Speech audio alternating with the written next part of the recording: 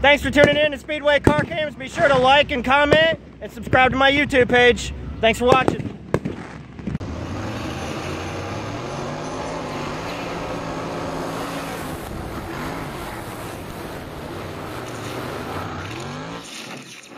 Thank you for watching Speedway Car Cams.